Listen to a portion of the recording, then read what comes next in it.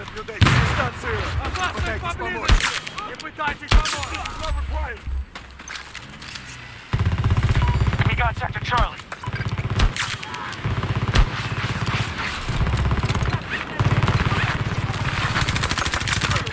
Both sectors are now under our control.